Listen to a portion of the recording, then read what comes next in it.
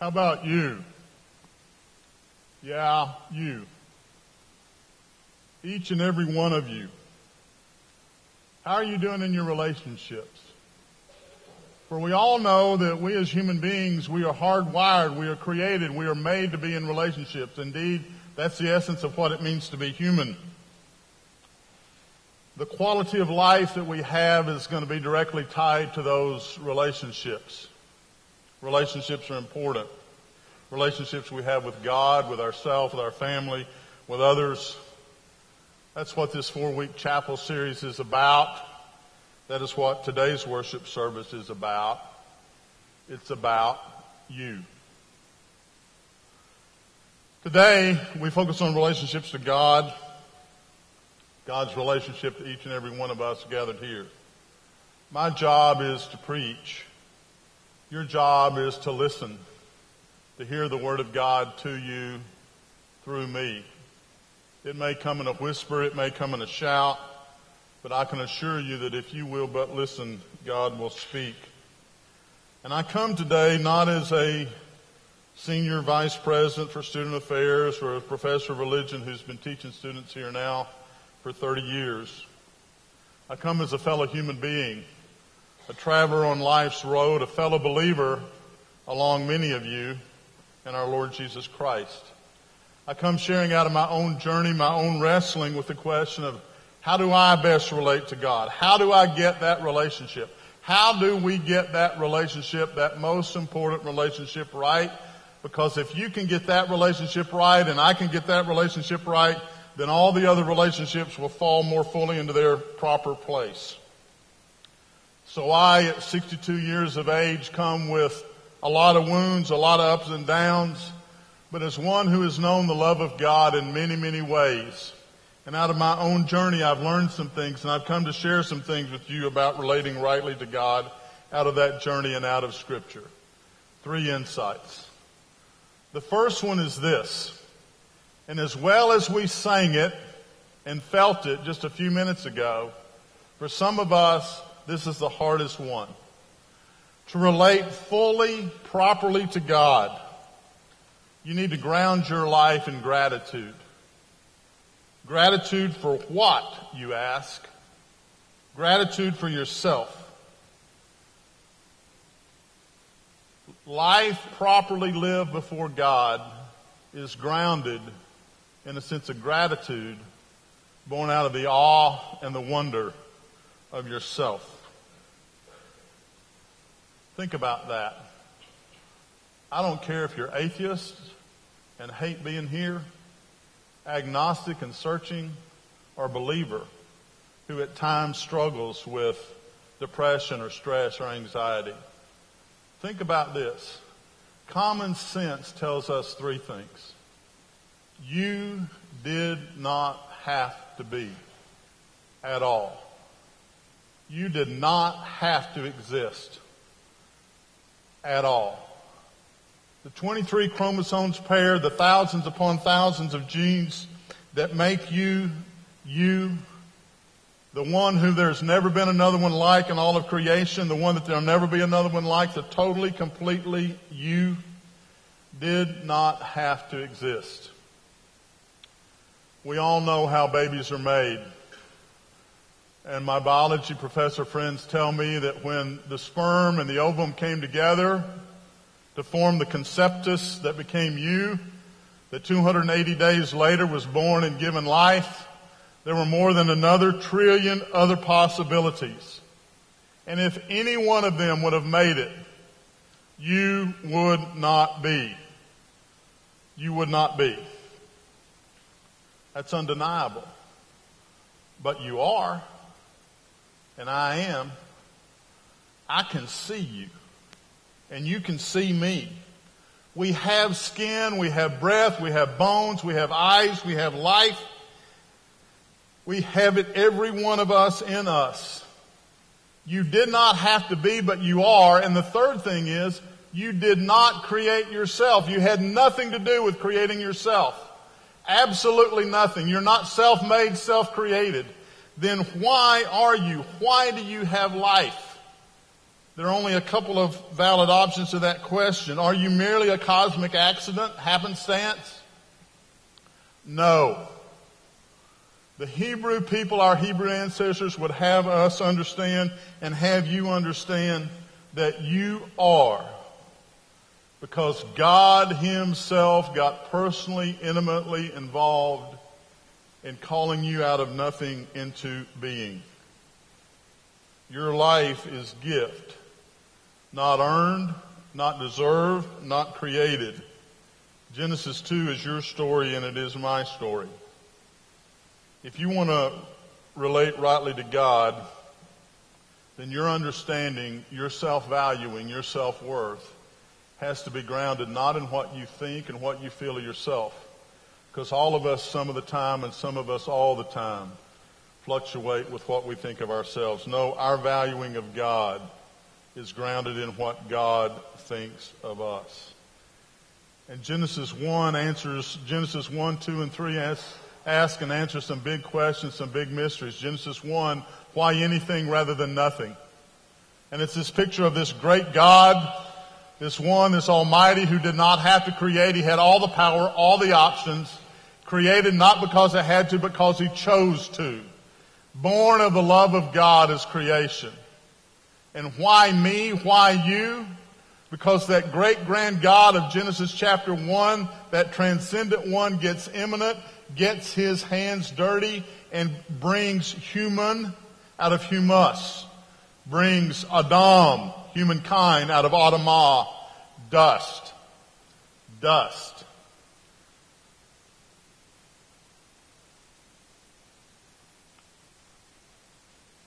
Frederick Buechner says it this way.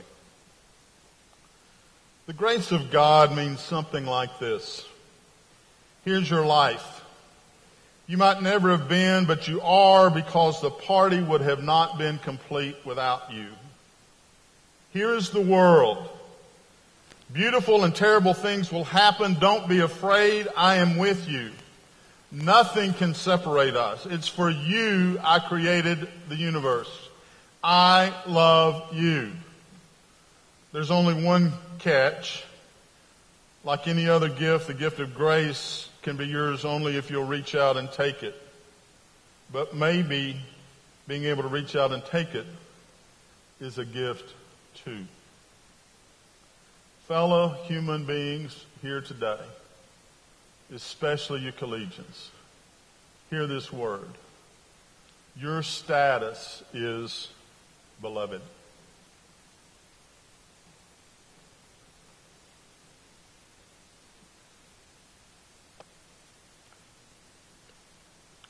beloved by God. Or else you would not be.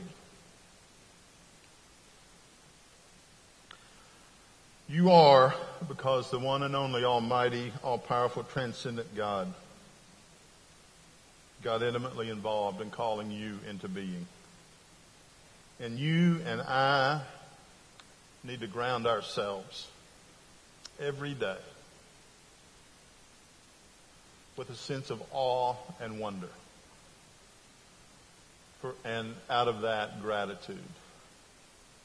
You did not have to be. I did not have to be. This day did not have to be. This is the day the Lord has made. And we ought to take joy in that. It was when I was a collegian that I was introduced to a writer named John Claypool and a theological insight that he provided that has changed me ever since. He says this, life is gift, and only when it's accepted with open arms of gratitude can it be everything which God intends for it to be. You, my friends, are beloved by God. Your life is gift. To relate properly to God, then, you must begin by grounding your life in gratitude to God for the beloved miracle, the unique beloved miracle that you are. That's the good news. But the new, good news gets even better. That's the message of the passage in Romans. It moves me to a second point. That to relate properly to God, you must grant Jesus Christ his rightful place as Lord. Your status and my status as beloved of God did not end with our being born and being brought into this world and given the gift of life. Indeed, it only began there. But to hear the good news, we also have to hear the bad news first. And the bad news is that you and I, just like every Adam and Eve and every man and woman since, we have failed to live up to our calling of what God has called us to. Genesis 3 is about why sin, and it's pretty simple. The man and the woman depicted there, they refused to believe God's good word about them, that as they were where they were, with no changes whatsoever, they were the crowning point of creation. They were the ones who reflected His image. Eh, but they can then, no. So they refused to believe that great truth. And so what did they do? They went chasing after that which was pleasing to the eye, that which was sensually satisfying, that which they thought would make them wise. The Bible calls it the fall, it calls it the sin. It is their story, it is our story. We have missed the mark. We have failed. We have fallen short of the glory of God, which He created us as His beloved. We know what shame feels like. I certainly do, and I know you do too. We know what guilt feels like. At times we feel guilty, have a guilty conscience because we are simply guilty. Although human, we have tried to be our own God. We wanted to be creator. And we have, doing so, have made ourselves estranged from God. And yet, yet,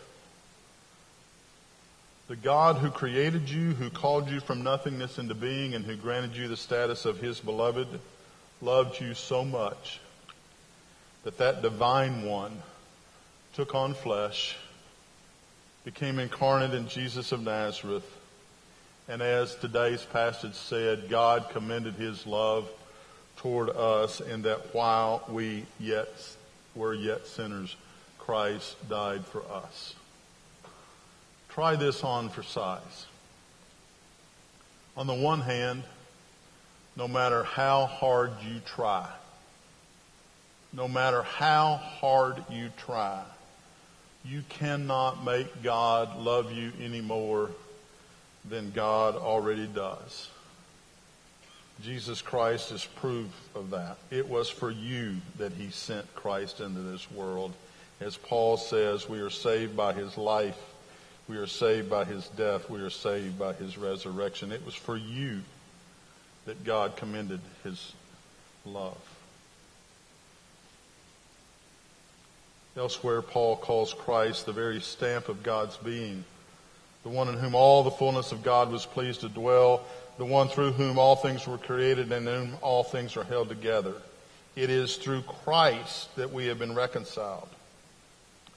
So on the one hand, beloved of God, no matter how hard you try, you cannot make God love you any more than God already loves you. And Christ is proof of that. But try this on. On the other hand, no matter how much you deny it, you cannot make God love you any less. God loves you so much that Christ died for you. Period. Case closed. You don't get to vote. All you've got to do is ask yourself the question, will you accept your status as the beloved of Christ, the one for whom he died? Will you be reconciled to God or not? And there's another one for which you don't have a vote. In Philippians chapter 2, Paul says this of Christ. He sings to him, who though he was in the form of God, didn't regard equality with God as something to be exploited, but emptied himself, taking the form of a slave, being born in human likeness, and being found in human form, he humbled himself and became obedient to the point of death, even death on the cross. Therefore God also highly exalted him and gave him the name that's above every name so that the name of Jesus, every knee should bow in heaven, on earth, and underneath the earth, and every tongue should confess that Jesus Christ is Lord to the glory of God the Father. The Greek word translated should there is imperative in tone and mood. It implies that there will come a time where every knee will bow, heaven and earth and underneath the earth, that Jesus Christ is Lord to the glory of God the Father. That's not being put up for a vote every tongue will confess. The only choice that you've got is when. When. Why not now? I would implore you to, to grant Jesus Christ his rightful place as Lord over your life now so that you may have the life, the life abundantly. Gang salvation in Christ, it's not about evacuation. It's not about what am I going to do when I die. It's not about fire insurance. Salvation in Christ, the Lordship of Christ is about transformation. It is about here now. It is about being transformed into a relationship of intimacy with God so that beginning right now, we can have what John calls eternal life in another place called life abundantly. And so if we are to relate ourselves rightly to God, we've got not only to ground ourselves in gratitude out of awe and wonder for who we are, but we also have to grant Christ his rightful place as Lord. The third thing is once we've done that, and if and only if we've done that, can we go live life out of the divine center of the resurrected Christ in us. Hear the words of the apostle Paul again. I pray that the God of our Lord Jesus Christ, the Father of glory, may give you a spirit of wisdom and revelation as you continue to come to know him, so that with the eyes of your heart enlightened, you may know what is the hope to which he has called you, what are the riches of his glorious inheritance among the saints, and what is the immeasurable greatness of his power for us who believe, according to the working of his great power, God put this power to work in Christ when he raised him from the dead and seated him at the right hand in the heavenly places. Far above all rule and authority and power and dominion above every name that's named, not only in this age, but in the age to come. Did you hear that? Did you hear that?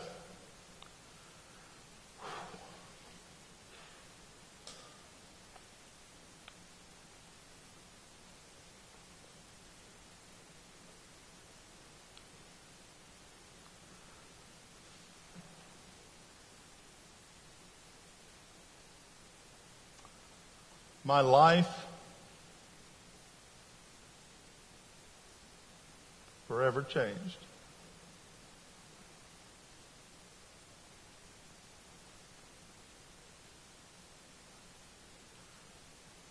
Sophomore year in high school. Like many of you, I was born and raised by a Christian family, born in the church, professed faith at Christ, was baptized when I was nine. From nine to 15, I had enough religion to bug me but not bless me. At 15, because of a job change, my father moved me from the only place that I knew, Central Arkansas, to the mid-Texas Gulf Coast. It was absolutely the most traumatizing, dark night, pure hell. I won't go into it in detail, but it was bad, gang. It was really, really bad. Never, ever have I experienced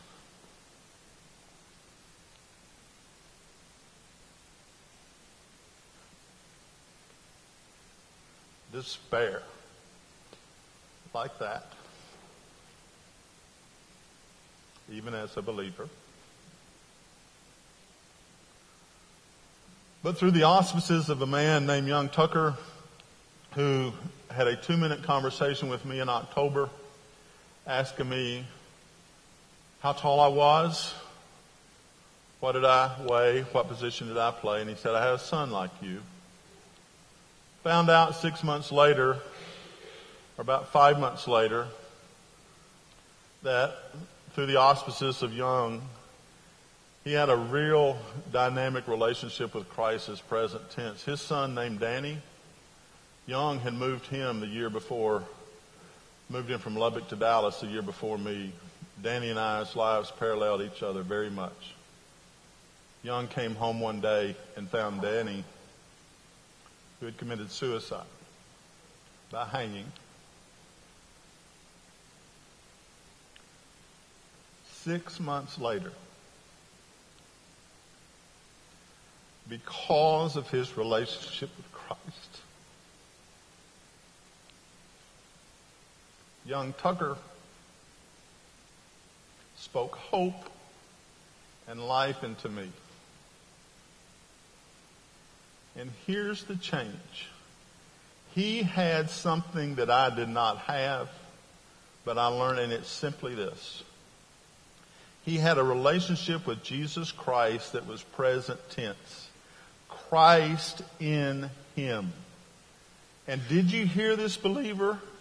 That if you be in Christ, the same power through which God raised him from the dead that power resides in us. So we can, we can ground our lives in gratitude toward God. We can grant Jesus Christ his rightful place as Lord over our lives. But we can go knowing that we have a divine center.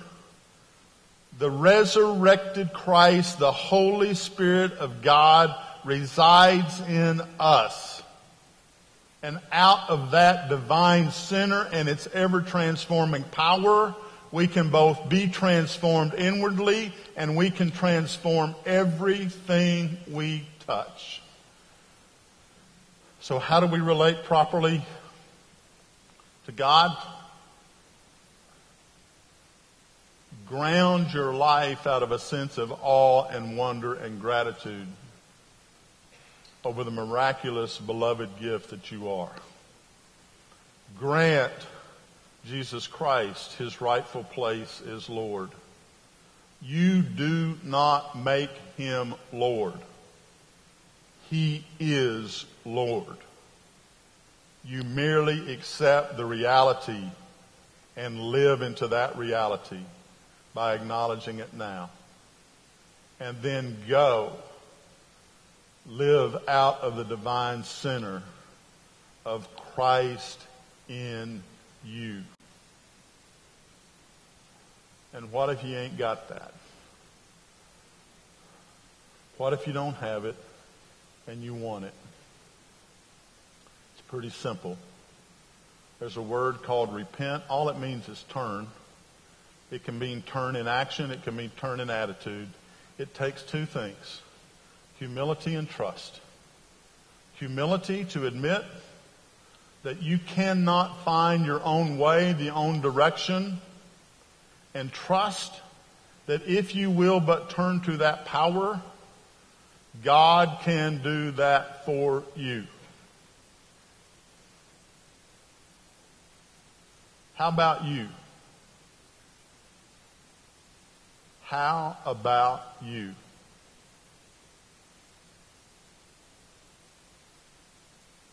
You don't have a choice of whether or not you're beloved. And you don't have a choice over whether or not He is Lord. You merely got the choice. Will you accept it, claim it, live out of it? That is how we relate properly to God. Let us pray.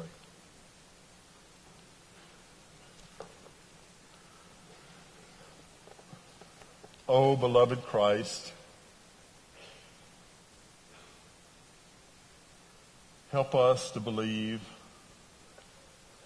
the truth about ourselves no matter how beautiful it is. Lord, I pray that if there be anybody in here who has not heard that word, beloved, who has not accepted you as their Lord and Savior, that somehow, some way, they'll be led to seek one of us out. And Lord, I pray for my brothers and sisters in this room who, yeah, we've done that. But we may not have lived out of the reality of you alive and well, living in us and through us. Oh, beloved Christ, help us to believe the truth about ourselves and the truth about you. And may our believing make all the difference in the world. For your kingdom's sake, for our own sake, we ask and pray. Amen.